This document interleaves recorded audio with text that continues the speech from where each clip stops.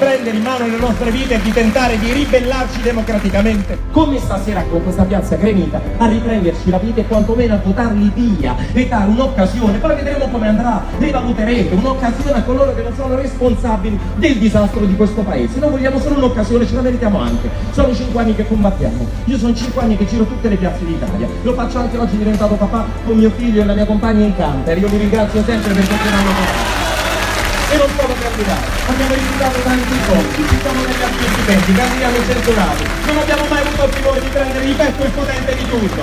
Mi sono andato sotto capa per Berlusconi a dire quello che qualcuno di sinistra avrebbe fa.